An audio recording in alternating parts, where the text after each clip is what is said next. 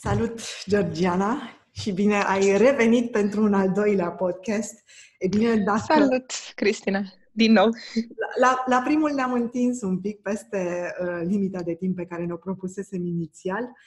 Um, menționez uh, din nou colega noastră, fosta noastră colegă Georgiana este alături de noi și discutăm despre rezultatele la 9 luni și estimări de dividende deși uh, nu mai este de, de ceva vreme din luna mai, uh, nu mai uh, lucrează în piața de capital, ei bine, noi suntem de fiecare dată bucuroși și o primim cu, cu entuziasm și cu brațele deschise pentru că în continuare acoperă foarte bine piața de capital uh, uh, din România și se, se vede că experiența în calitate de analist financiar își spune cuvântul uh, fără dar și poate. Mersi frumos, Cristina, ești foarte amabilă. Deja m-am înroșit. Bine că nu avem camera pornită.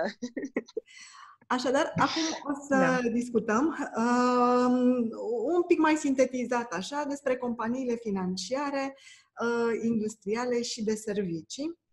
Uh, da, cam ce a mai rămas în uh, indicele BET după ce am acoperit uh, utilitățile și companiile din uh, energie până podcastul precedent. Așa. Uh, Banca am început. Da. Uh-huh. Da, am început cu băncile, cu cele mai mari companii rămase. Uh, o scurtă precizare. Atât Banca Transilvania cât și BRD publică două seturi de rezultate financiare. Unele sunt strict pentru bancă, celelalte sunt la nivelul întregului grup, pentru că ele mai au activități de management de active, leasing și așa mai departe. Foarte bine uh, că ai asta. Uh, Georgiana, da. pe Bursa de Valori București se tranzacționează la nivel de grup. Exact, de asta și eu am uh, notat aici cifrele pentru grup, chiar dacă în presă am mai văzut și raportări strict despre activitatea de bancă. Făcut precizarea asta ca să nu existe uh, nicio confuzie. Deci dacă ne uităm la grupul uh, Banca Transilvania în primele 9 luni, am avut o creștere a veniturilor nete din dobânzi de circa 8,5% față de aceeași perioadă din 2018 um, și pe ansamblu o creștere a veniturilor operaționale de 3,5%. La nivelul uh, băncii, strict al Băncii Transilvania, dinamica a fost mai, uh, mai puternică, mai rapidă. Dar uh, pentru grup, acestea sunt, uh, sunt cifrele. Pentru profitul net, un avans de 26%, ceea ce înseamnă o creștere accelerată în trimestrul al treilea față de primele șase luni din an și înseamnă de asemenea un nou uh, record pentru profitul uh, net al grupului și pentru prima dată a depășit nivelul de 1,5 miliarde de lei în primele 9 luni și de asemenea a depășit deja uh, nivelul bugetat pentru întreg anul. Um, dacă ne uităm uh, un pic la partea mai uh, inovativă a Băncii Transilvania, o să vedem că um, au niște cifre foarte uh, bune de creștere pe acest uh, segment de digitalizare. De exemplu, uh, tranzacțiile prin internet banking au crescut cu 25% față de aceeași perioadă din 2018, cele din mobile banking s-au dublat, pe partea de plăți cu telefonul aproape că s-au triplat, și de asemenea au introdus retragerile de la bancomat cu telefonul și fără card. Uh, menționez acest lucru pentru că se discută foarte mult despre faptul că sectorul bancar este destul de în urmă cu inovațiile, nu doar la noi, ci la nivel global. Așa și este și ne uităm ar fi... se, se, da. se luptă acum practic cu uh, companii precum este Revolut, uh, care mm, facilitează uh, tranzacții la nivel global. Uh, în câteva minute îți poți schimba banii dintr-o valută în alta, poți plăti oriunde în lume, iar băncile trebuie să țină pasul cu, cu această evoluție, cu acest ritm. Exact. Exact. E această concurență din partea așa numitelor companii de fintech. Uh, iată că Banca Transilvania face niște eforturi în, uh, în acest uh, sens, încearcă să fie printre cele mai inovative, inovatoare scuze, bănci din, din România și este interesant de văzut că începe să prindă tracțiune acest segment digital și la, și la ei. Dacă ne uităm la uh, politica de remunerarea acționarilor. Eu am estimat da, eu am estimat doar uh, dividendul uh, în cele ce urmează. Uh, e adevărat, ei plătesc și acțiuni, distribuie acțiuni gratuite an de an, chiar din vremuri de dinainte de a plăti un dividend cash. Uh, deci acest randament al dividendului pe care l-am estimat eu de circa 8% va fi aproape sigur, uh, uh, cum să spun, uh, mărit, ajutat și de un uh, randament provenit din acțiunile gratuite. Doar că acolo nu am făcut nicio, nicio estimare exactă. Anul trecut, dacă nu mă înșel, sau mă rog, anul acesta, randamentul total a fost undeva pe la 15-16%, deci ceva foarte, foarte generos pentru, pentru acționari. Um, dacă ne uităm la grafic, Banca Transilvania a reușit să depășească fără probleme uh, nivelul de... Exact. Um, vreau să punctez faptul că a depășit uh, la un moment dat prin vară nivelul de dinaintea OUG dom- uh, din uh, OUG 114 din 2018, nivelul problematic, să zicem, uh, și este la un, uh, la un nou maxim record acum. Evoluția de la începutul anului e undeva uh, un pic peste 30%. E cam în linie cu indicele BET de data aceasta. Într-adevăr. Dar oricum o, o evoluție foarte uh, bună, dat fiind faptul că este una dintre cele mai, uh, cele mai mari companii. O evoluție excelentă, da. Banca, practic, a ajuns la o valoare de piață acum la de 12,9 miliarde de lei, fiind pe locul uh-huh. 2 în topul celor mai valoroase companii uh, de la, de la bursă. Uh, da. La începutul anului doar, ei și-au majorat capitalizarea cu aproximativ 3,7 milioane de, de lei. Și asta, într-adevăr, cum ai spus și tu, pe fondul revenirii prețului după, după ordonanța 114. Exact, și al rezultatelor bune și să nu uităm și faptul că Banca Transilvania este pe lista celor trei acțiuni care vor fi incluse în indicii de piețe emergente ale FTSE Russell, începând cu toamna lui 2020.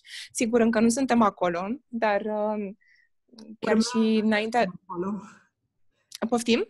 Zic, urmează, urmează în uh, toamna anului următor. Uh. Da, da, exact. Uh, chiar dacă în indici nu a intrat încă uh, și investitorii cu mandate pasive încă nu au început uh, să cumpere efectiv aceste acțiuni, mai există și investitori cu profil mai speculativ care se pot orienta deja spre, uh, spre achiziții și e posibil să fie și acesta un factor care să, să le susțină în, uh, în viitor. Așa. Ok. Um, mergând mai departe la da, la a doua bancă importantă de la noi. Um, aici evoluția este un pic mai um, un picuț mai modestă decât la, la Banca Transilvania, ca întotdeauna. Uh, veniturile nete din dobânzi au avut o creștere de vreo 10%, iar veniturile operaționale uh, plus 7%. Profitul net, tot așa, un plus 7% și pentru ei este la cel mai ridicat nivel Um, după criză. Um, ca de obicei, așa cum am văzut uh, la BRD nu numai anul acesta, dar și în anii trecuți, au acest uh, cost net al riscului pozitiv, ceea ce înseamnă că din uh, reevaluarea activelor din portofoliu, din evoluția mai bună a pieței, ajung la concluzia că au o recuperare mai bună a creditelor și mai eliberează din, din provizioane și marchează acest lucru ca fiind un, uh, un câștig, un uh, plus la capitolul de profitabilitate. E un element mai mic ca importanță acum decât, eu știu, acum 2 ani, pentru că economia deja își revine, de, e în creștere de ceva timp și ei fac această operațiune de ceva timp, dar e un, uh, un plus pentru ei la profit. Um, bilanțieri stau uh, bine, rata creditelor neperformante este doar 4%. Este, este mai mic. Important. Da, este un uh, indicator chiar mai mic decât pentru Banca Transilvania. Banca Transilvania nu e foarte departe, are 4,5, dar uh, uh, ambele sunt în orice caz sub media sectorului uh, bancar în momentul de față și împreună cu indicatorii de solvabilitate care sunt în limitele impuse de PNR, chiar lejer uh, um, din acest punct de vedere, arată că în momentul de față bilanțul uh, pentru cele două, bilanțurile pentru cele două bănci sunt, uh, sunt ok. Um, BRD s-a făcut remarcată în ultimii doi ani prin niște dividende foarte generoase, comparabile cu ceea ce vedeam la companiile de stat. Um, pentru anul următor, eu am estimat că o să rămână la o rată de distribuție a profitului destul de generoasă, comparabilă cu, cu cea din ultimii doi ani. Poftim, Cristina? De 80% uh, estimarea privind rata de distribuție? Mm, eu am pus undeva mai pe la 75, am luat o, o medie un pic uh, istorică, n-am luat-o, cred, chiar pe cea din ultimul an, uh, dar chiar și așa am ajuns la un dividend care ar oferi un randament de 12%, deci din comparabil cu ce am, da, cu ce am văzut în, um, în cazul potențial, să zicem, al uh, companiilor de, de stat. Fiind o, companie, o bancă care, din păcate, nu e la fel de activă pe partea de investiții, nici n-a făcut uh, achiziții în ultimii ani, nici nu dacă investește... Mm, da. da. Într-adevăr, dacă țin bine minte, cred că anul trecut rata de distribuție a fost undeva cam la 77% din... Uh, din... Uh, stai un pic, că uite, o să-mi consult uh, Excel-ul pe care l-am făcut special cu această ocazie. M-am uitat un pic la toate aceste rate de distribuție din ultimii ani. Da, anul trecut au dat 73%. 73, și, în regulă. Da, cu un an în urmă au dat 81%. Și în, da. înainte de asta erau pe la 67-70. Deci eu am luat o medie, am pus 74% distribuția profitului și am ajuns la acest uh, dividend. Sigur, cum spuneam și în podcastul trecut, sunt doar niște presupuneri. Dacă modificăm ceva din acestea, eu știu, fie profitul estimat pentru tot anul, fie această rată de distribuție, ajungem la un cu totul alt rezultat pentru dividend. Astea sunt niște cifre orientative. Uh, da.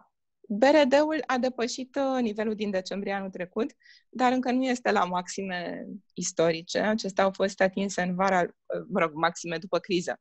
Acestea au fost atinse pentru ea în vara anului trecut. Are un uh, avans anul acesta undeva pe la 28%, deci un pic sub Banca Transilvania și un pic sub indicele BET, dar uh, din nou un uh, nivel destul de, o evoluție destul de bună, aș, aș spune. O evoluție bună, iar dacă estimarea, dacă dividendul estimat de către tine o să fie uh, în marea parte apropiat de cel uh, care va fi um, aprobat de către acționari în AGA, cu atât mai mult uh, ar reprezenta un catalizator pentru, pentru BRD. Da, să, să vedem. Bursa de Valori București, că tot discutăm despre um, acel nou statut de piață secundară emergentă. Da. Deocamdată așteptăm să vedem efectele pozitive uh, și la nivel de venituri și la nivel de volume de tranzacționare, în primul rând, pe, pe da. BBB. Uh, dar hai să o analizăm punctual aici, prin prisma rezultatelor la 9 luni. Da, la 9 luni uh, rezultatele nu sunt strălucitoare, dar asta pen- și pentru că primele două trimestre au fost mai slabe. Adică dacă ne uităm strict la trimestrul al treilea, dinamica a fost uh, mai, mai bună decât cifrele pe care le vedem uh, aici. La 9 luni, veniturile operaționale sunt în scădere cu 9% și asta este în principal din cauza faptului că valoarea totală a acțiunilor, a tranzacțiilor, îmi cer scuze, inclusiv ofertelor, este în scădere cu 15% față de anul trecut. Din păcate, s-au făcut mai puține oferte mari decât în 2018.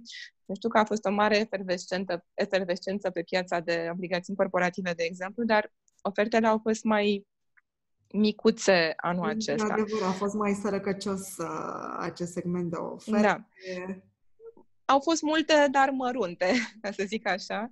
Și atunci, per total, uh, valoarea a scăzut, chiar dacă strict valoarea tranzacțiilor cu acțiuni e în creștere anul acesta cu, cu 13%. Uh, profitul operațional, din păcate, aproape că s-a înjumătățit. Uh, din fericire pentru BVB, este o companie care în mod tradițional are un profit financiar uh, destul de mare și a mai săltat un pic, astfel încât profitul net a scăzut doar cu 18%.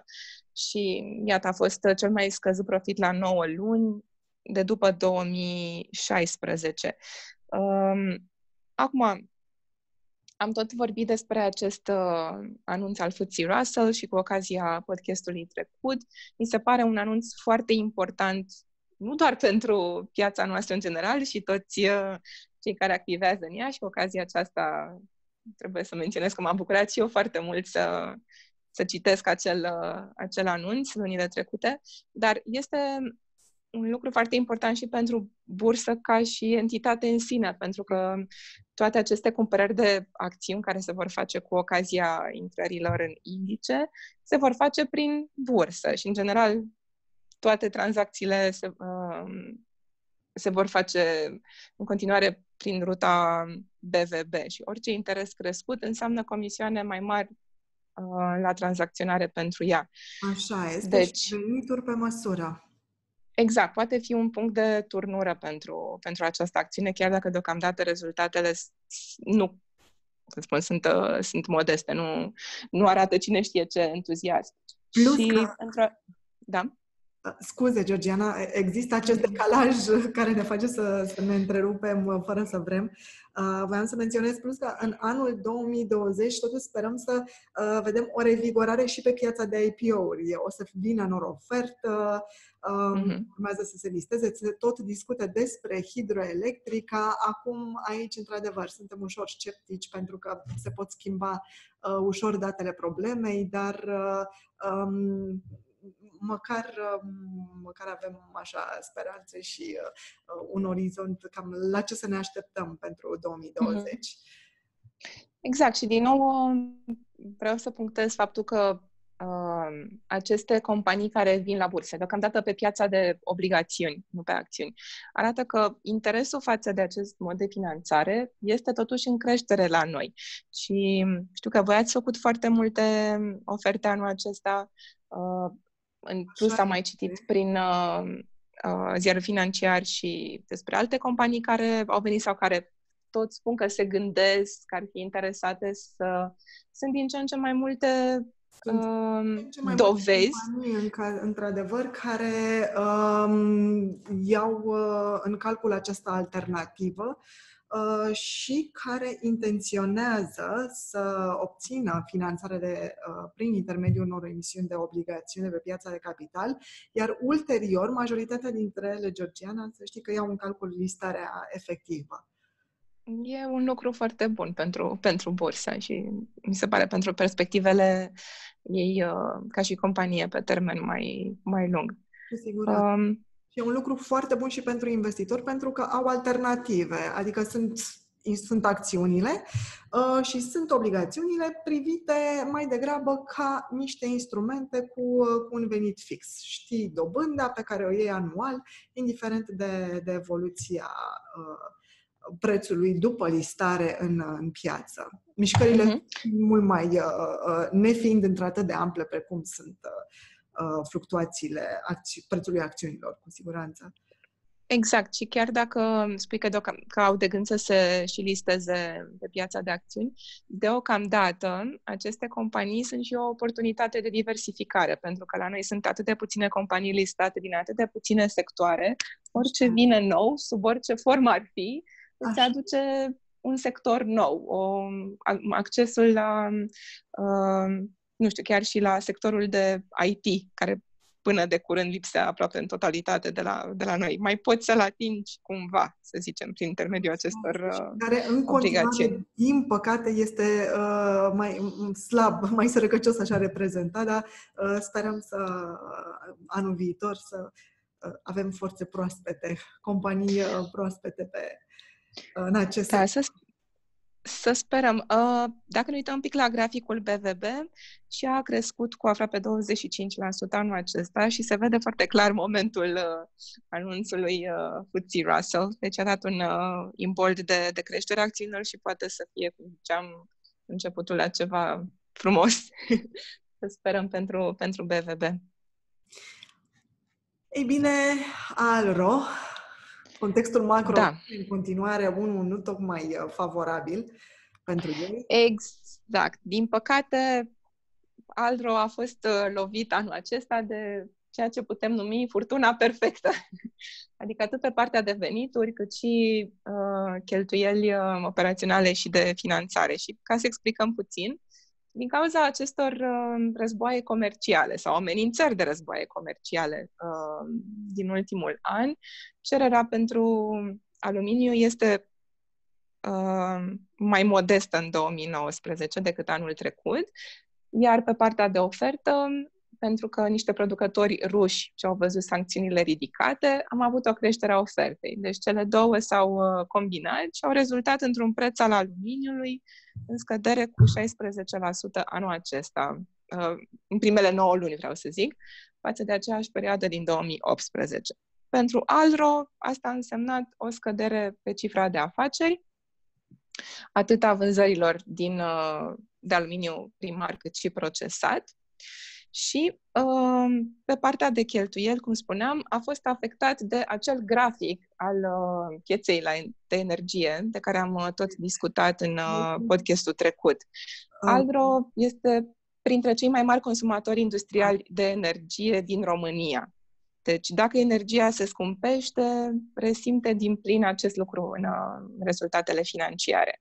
Mai um, în momentul în care um, scade prețul aluminiului, e bine, n-au cum să, cum să compenseze uh, cheltuielile pe care le au uh, cu uh, costul energiei electrice.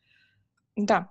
Și asta a însemnat o scădere a profitului operațional cu 59%, și și s-a adăugat, din păcate, o evoluție uh, slabă și pe partea de finanțare, pentru că Aldro este îndatorat în valută, inclusiv în, în sau mai bine zis, în deosebi în dolari americani, și leul s-a depreciat anul acesta. Deci au avut cheltuieli cu dobânzile în creștere, au contractat niște împrumuturi noi, plus pierderile din diferență de curs valutar și toate astea puse cap la cap cu scăderea de profit operațional înseamnă că în trimestrul uh, al treilea a avut din nou pierdere netă.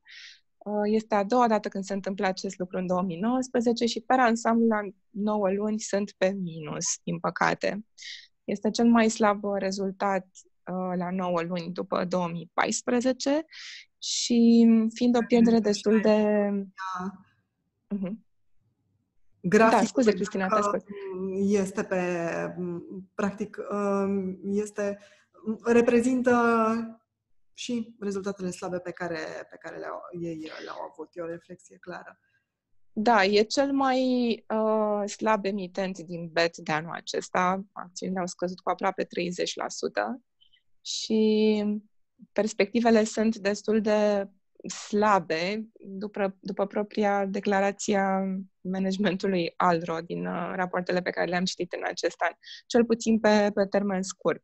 Din păcate, neavând profit net, nici nu are prea are de unde să vină un, uh, un dividend care să-i mai uh, ridice atractivitatea în ochii investitorilor. Deci, uh, da, din păcate o perioadă mai proastă pentru, pentru Alro. Dar despre MedLife, uh, Georgiana, ce părere ai? Uh, citim um, articole destul de, de frecvent despre achizițiile pe care ei uh, le fac.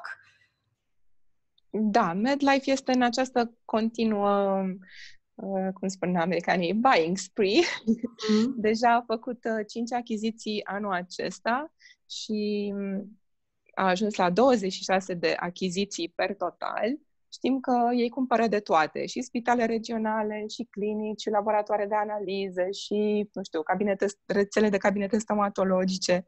Cumpără cam uh, tot ce pot. Chiar și după uh, această raportare, mi se pare că am mai anunțat niște sau nu, a fost recent uh, anunțate aceste achiziții pentru Spitalul Lotus din Ploiești Așa și un centru medical din uh, Moldova. Și ba chiar um, și-au extins recent linia de credit uh, sindicalizat cu 24 de milioane de euro, tot pentru achiziții. Deci sunt um, pe poziția asta de lider de piață și încearcă din răsputeri să-și o uh, consolideze. Să-și o consolideze, da. Da. Um, dacă ne uităm la rezultatele financiare, au avut niște creșteri puternice pe partea de um, venituri, marile segmente de business, clinicile și spitalele, au crescut cu uh, circa 30%, uh, ambele. Și pentru cifra de afaceri, uh, iată, plus 23% pe ansamblu. Uh, profitul operațional plus 57%, cel net plus 52%, deci un avans uh, spectaculos, dar trebuie punctat și faptul că baza de raportare pentru aceste profituri, adică ce s-a întâmplat anul trecut, la 9 luni în 2018, era destul de modest. Pentru că MedLife, deși este lider de piață, ca marjă de profit arată destul de, destul de slăbuți. Chiar și cu aceste creșteri de 50, de circa 50%, Cristina, marja netă de profit e undeva la 2,7%, deci Modestă. micuță. Da, da. te gândi că un lider de piață reușește să să facă mai mult. Acum, sunt multe semne de întrebare. De exemplu, noi nu știm la ce prețuri face aceste achiziții. E posibil să, să nu reușească totdeauna să obțină cel mai bun uh, deal și atunci uh, Adevăr. să fie, să fie cumva, cumva umflate aceste, aceste achiziții. Uh, în orice caz, mie mi-ar plăcea și cu siguranță investitorilor le-ar plăcea să vadă o atenție mai mare și pe partea asta de profitabilitate, dar un pic, un pic se pare că lucrurile încep să se uh, îndrepte în direcția corectă. Ce aș dori să mai punctez aici este că mm, putem fi un pic atenți la bilanțul MedLife, pentru că e destul de îndatorată între companiile din indicele BET, cam 70, 77% din datorii sunt, din active sunt finanțate prin datorii și de asemenea în momentul de față uh, datoriile pe termen scurt depășesc activele pe termen scurt, ceea ce poate să semnalizeze în mod tradițional o oarecare problemă de lichiditate, dar e o situație mai veche la MedLife. Adică dacă ne uităm trimestru de trimestru anul acesta, e cam în aceeași uh, situație și cumva reușește să se, să se descurce. Deci... E o deci- companie axată într-adevăr pe creștere accelerată și asta se, um, de aici și diferența sens negativă între... Uh... Da, da. Dar um, se pare că anul acesta um, piața nu a penalizat-o pentru acest lucru.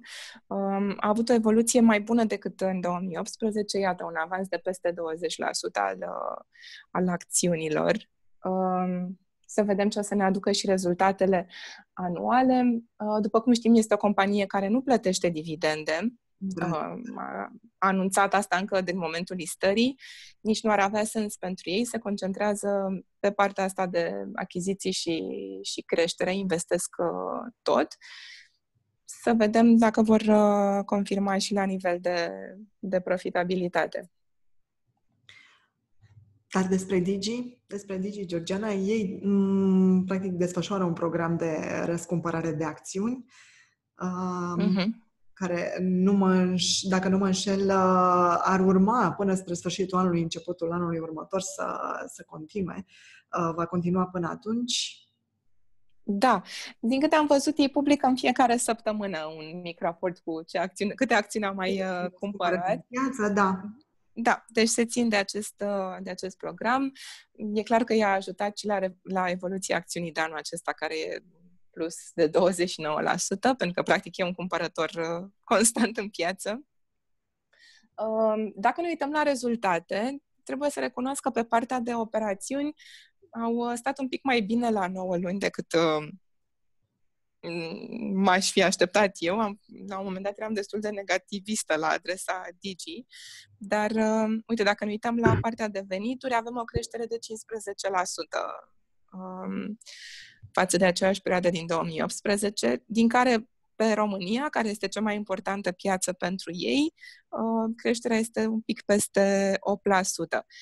Ceea ce mi-a plăcut să citesc în acest raport este că și-au uh, redus cheltuielile operaționale, au reușit să facă niște economii pe cele mai mari piețe, pe România și Ungaria, și de aici am ajuns la o creștere a profitului operațional de 31%.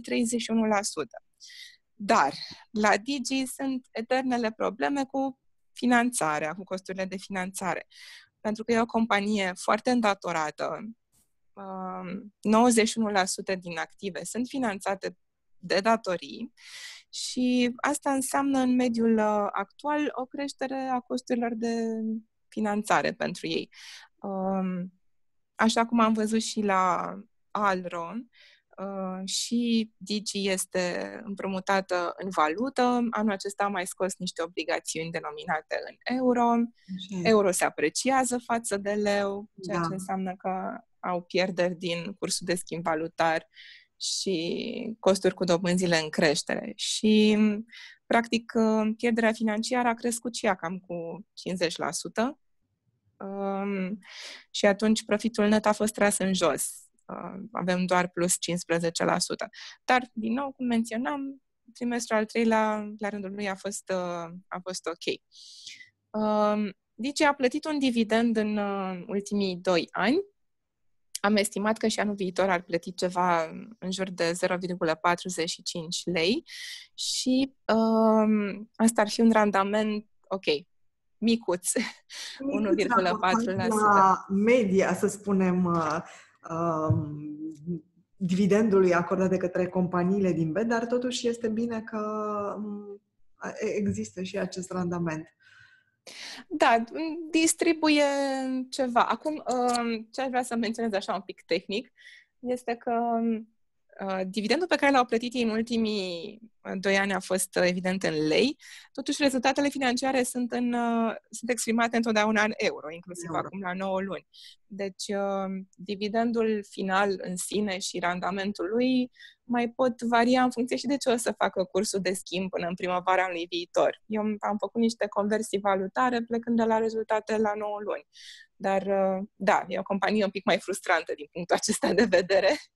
Cu siguranță că mm, cei care uh, au acțiuni sau care intenționează să investească în Digi uh, nu fac asta uitându-se în primul rând la dividendul acordat, ci la potențialul de creștere pe care ei îl au. Uh-huh. Da, așa este. Să vedem ce se întâmplă și cu piața 5G în România. Există, există motive de, zic, uh, pentru care să urmărim uh, compania în viitor. Dar despre sfera, să vedem care sunt motivele pentru care uh, am urmărit sfera uh, mai cu atenție în, uh, în viitor. Da, Sfera este o companie care în ultimii doi ani, de la listare încoace, a tot avut probleme pe partea de cheltuieli. Adică, sigur, veniturile au crescut totdeauna în rate compuse din două cifre, în double digits, să zicem. Uh, pentru că în mod constant deschide restaurante noi, a adus și branduri noi pe piața din România. Uh, iată, la primele 9 luni a avut un plus de 26% la vânzările în restaurante, din care numai pe piața din România uh, creșterea a fost de 18%. Din nou menționez România pentru că este principala lor piață, pe lângă ce mai au în Italia și Republica Moldova. Um, dar um, fiind într-un mediu inflaționist, întotdeauna s-au luptat cu aceste creșteri ale cheltuielor cu uh, materiale, cu alimente, chirii, utilități uh, și profitul operațional a avut de, de suferit. De data aceasta au reușit o creștere de circa 28% pe profitul operațional, dar, din păcate, din nou, avem o problemă și pe partea de finanțare. Cheltuielile financiare au crescut de șase ori față de aceeași perioadă din uh, 2018 și, prin urmare, profitul net a închis pe un pic de scădere perioada, aproape 2%. Și este cel mai scăzut profit la 9 luni uh, de la listare și până acum. E un pic și sub nivelul lor bugetat uh, pentru această perioadă. Rămâne de văzut dacă vor reuși să-și mai uh, revină până la finalul anului. Ce am menționat aici, au făcut uh, niște schimbări de politici contabile, un anumit standard de contabilitate legat de uh, leasing versus uh, chirii s-a aplicat anul acesta și dacă am fi exclus acest uh, impact, profitul net ar fi fost pe o creștere de 18%. Au ținut să puncteze că lucrurile nu sunt poate chiar atât de, de rău pe cum, da. pe cum par. Um, în ceea ce privește dividendul, au plătit un dividend anul trecut eu estimez că o să aibă un grad de distribuție similar și în 2020. Asta înseamnă undeva în jur de 50%, să zicem. Și atunci am ajuns la acest dividend de 0,54 de lei, care ar fi un randament un pic mai mare peste, decât cel de la Digi. Cam asta e ce putem spune despre el de bine. E bine Dar e un dividend. La grafic, într-adevăr, performanța nu este da. uh, cele mai strălucite. Da, anul acesta, din știu... ușor peste minimele pe care le-au atins uh, la, în prima parte a anului 2019. Da, da. De fapt, sunt chiar undeva la 0%, dacă te uiți la, un, uh, la evoluția prețului față de finalul lui decembrie anul trecut. Au, au variat, dar fără, au fluctuat acțiunile, dar fără să aibă o direcție uh, clară, pentru că nici rezultatele nu îți dau deocamdată ceva spectaculos de care să, să te agăți. Georgiana, ultima, dar nu cea din urmă, bineînțeles, companie despre care o să discutăm uh, astăzi, Purcari. Da. Ah, Cristina, mi-e foarte dor de această companie. Din mai multe puncte de vedere sunt... Din mai multe puncte de vedere. Totdeauna, dar... când, uh, totdeauna când uh, citesc raportul lor, uh, văd că, nu știu, își trag 5% din vânzări din Cehia și Slovacia, dar uh, eu când ies să le caut produsele prin magazinele de aici, Asta niciodată nu le găsesc. Ai reușit să găsești, dacă există distribuitori care să le aducă și, pe, uh, și în magazinele din, uh, din Praga. Am găsit o, o singură dată purcari în Praga la un mic magazin rusesc de cartier, dar asta a fost tot. Ok, și cu această mică anecdotă personală la o parte, hai să vorbim despre rezultatele financiare. Te rog. Uh, pentru că au avut o creștere destul de frumoasă a veniturilor uh, în primele 9 luni, de 22%, uh, în linia a ceea ce își bugetaseră pentru anul acesta o evoluție mult mai bună pe principala lor piață, care este România. Ei își trag cam 40% de vânzări din România și aceasta a crescut cu 25%.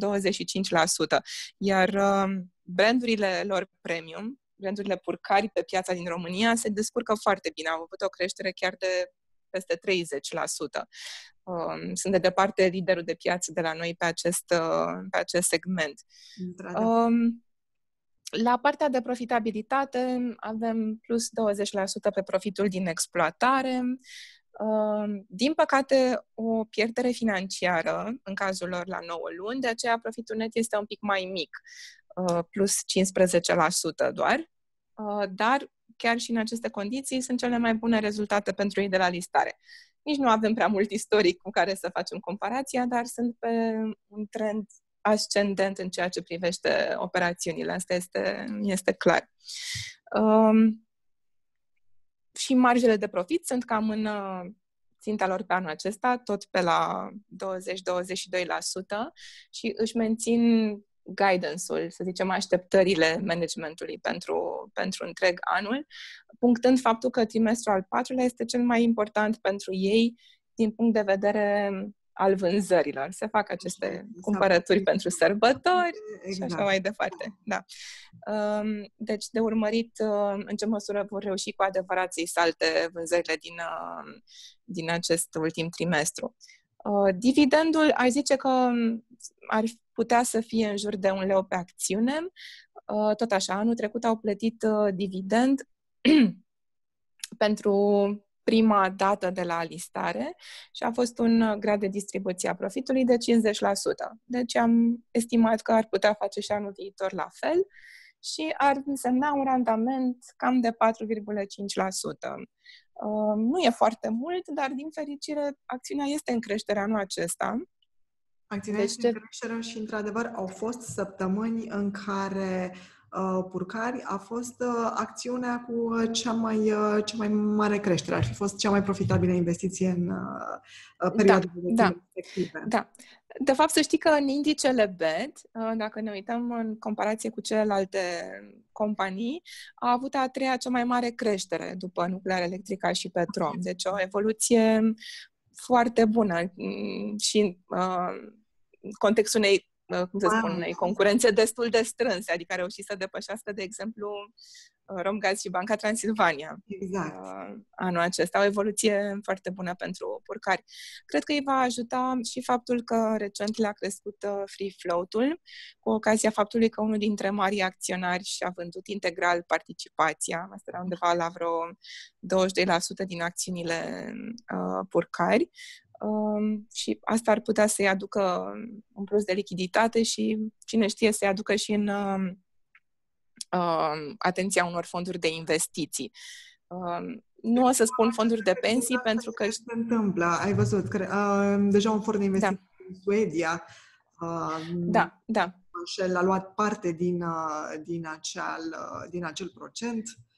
Da, da, da. Uh, vreau să punctez faptul că anumite clase de fonduri, de exemplu fondurile de pensii, s-ar putea să nu intre în purcari nici de data asta pentru că nu pot investi prin mandat în companii din sectorul producător de alcool. Există niște, uh, cum să zic, uh, reglementări uh, etice pe care ei le urmăresc atunci când fac investiții, dar există o gamă largă de alte fonduri care pot, uh, pot intra. Deci, uh, cum spuneai, acest lucru s-a și, s-a și întâmplat.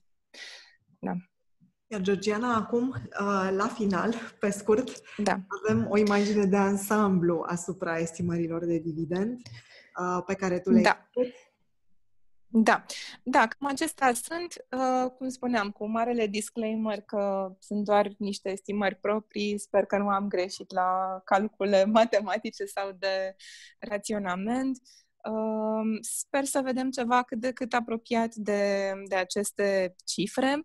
Uh, unele sunt mai, mai mici decât în trecut, uh, poate nu neapărat uh, în tabelul acesta, dar gândindu-mă la tabelul de randamente pentru companiile de stat, sunt un pic mai micuțe decât anul trecut, de exemplu. Dar să ne uh, gândim și la faptul că piața și-a revenit puternic anul acesta și atunci baza de comparație pentru aceste, randam- pentru aceste dividende este mai mare.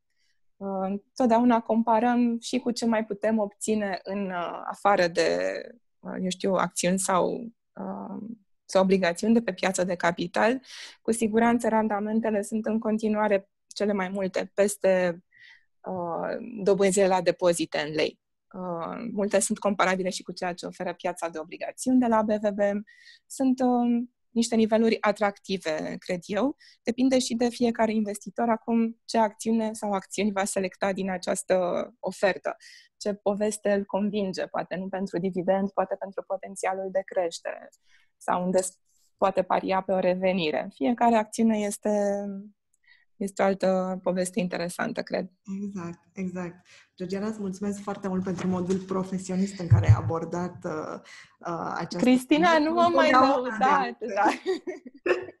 okay. uh, bun. Da, mulțumesc mult. Mi-a, mi-a făcut plăcere să, să discutăm te, din nou. Uh, să te ascult și să facem împreună și uh, următorul, uh, următorul podcast. Uh, probabil după rezultatele de la finalul, finalul anului, uh, când uh, am și ajusta aceste estimări de dividend. Um, la final vreau să le recomand din nou uh, clienților uh, și nu numai să folosească noua aplicație mobilă Trailview 3.0. Pe aceasta uh, o pot folosi și clienții care își deschid conturi demonstrative. Și să vă mulțumesc pentru, pentru atenție și ne, ne auzim în curând. Mulțumesc, Cristina!